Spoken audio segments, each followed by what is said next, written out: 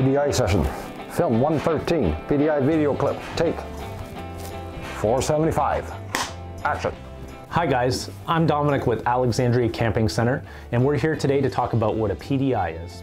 A lot of people in the industry talk about what a PDI is, and a lot of dealers even charge over and above the sale price 500, 1000, sometimes even more for this inspection. Here at Alexandria Camping Centre, we do not charge such additional fees for a PDI. What a PDI stands for is a pre-delivery inspection. As a dealer, we are required by the factory to go through a standardized checklist from them to make sure we're turning over the best possible product to you as a customer. At Alexandria Camping Centre, we go over and above and we actually have a five page PDI checklist, which is a little more detailed and covers a lot more items than the standardized list. Norm today is going to take you through what a PDI is, so I hope you really like the video. So a lot of units, when they come from factory, it does need some fine tuning. So there's a lot of items that we go through. Slide outs, awnings adjustments, tires to make sure there's no play in the bearings, the brakes are working good with the breakaway switch, the converter, that's all electrical to make sure it does charge a battery, moldings, carpets, flooring, carpentry, everything like that you could think of in the trailer. So make sure you do have a good unit.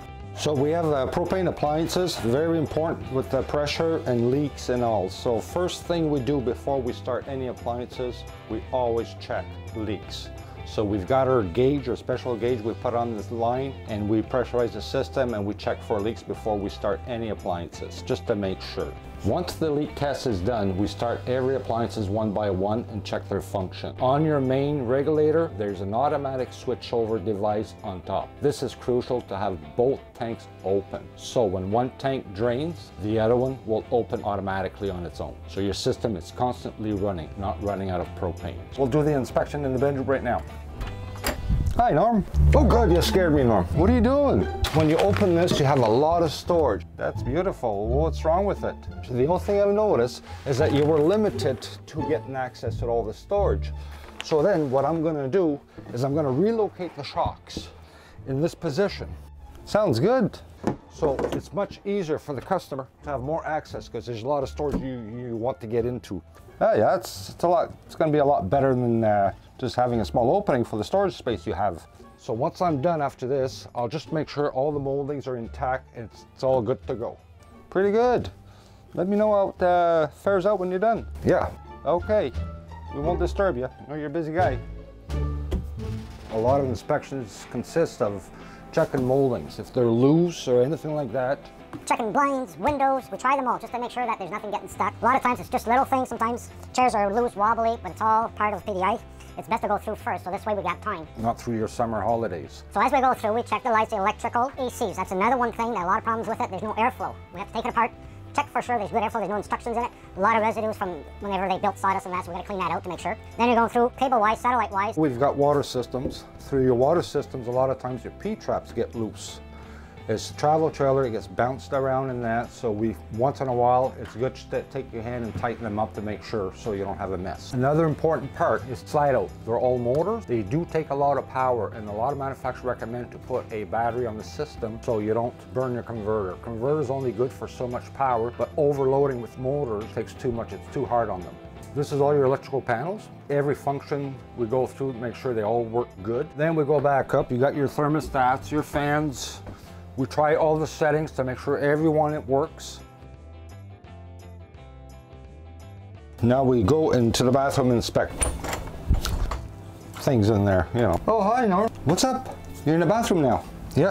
What are you What are you doing? What are you checking for? I'm checking for leaks on both sides of the corners. Why is it so important? That's a, a place that commonly leaks. Okay. So what we do, we take the hose and we spray the water on both sides, and then we've checked for for leaks around both corners. If there is leaks, we do seal all the edge. Oh, okay, I see. There's a lip on this shower. So basically the water should stay in. So you don't put silicone inside because then it's got no place to go back in. Yeah, so when we've done the shower, then there's always the toilet after. So for the toilet, is when we put the water on, it's always good that we check at the back, make sure all the fittings are tight. And sometimes the vent could leak. So we double check to make sure there's no leaks on the vents. On the sinks, when we've checked for leaks, there's the P-trap, all the fittings. We make sure they're tight. and water fittings underneath. Now what happens that when the water gets hot, the, the plastic expands, then it creates a leak. So we run the system and then we recheck to make sure all the lines are nice and tight. So this way on your delivery, we basically covered almost every spot that we could think of. We like to treat this if it's our own. We've checked all the moldings and everything, make sure it's all finished nicely. A lot of times what we have to do is look under because a lot of finishing when you're laying down, if you don't get under, you will miss. So we look under, make sure the finishing is real nice. A lot of things that we do that's very crucial is the roof. We'll go on the roof and check for voids in the sealant. That's a major problems with leaks. I'm just fixing uh, some voids in the roof and a good way of doing this, whenever you see a void, it's a Dicor. That's a flow seal, the same product as they're using. So first, stick the tube, apply the tip into the void, and as you press, you're filling up the cavity. That's the most important thing. Once your cavity is filled, then you can circular motion, apply a little small bead on top. This breaks the air bubble. So this is how you fill your voids. It's always good to double check your seals. Every month, once in a while, have a peek around.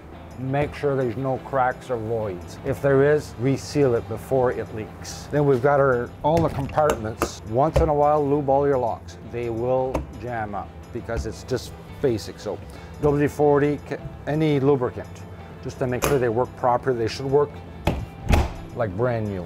We double check to make sure everything's in place. We take the panels apart. We check at the back to make sure there's nothing that's just dangling or cut.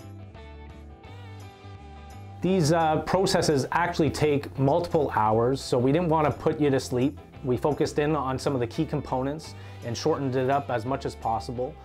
So I hope you really enjoyed the video. Thanks for checking it out. Have a nice day. Thank you for wa- oh, I should sound like this. Thank you for watching our video.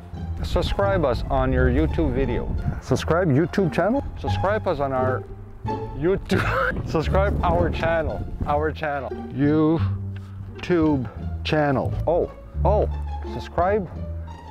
subscribe our YouTube channel. Subscribe our YouTube channel. Have a good day.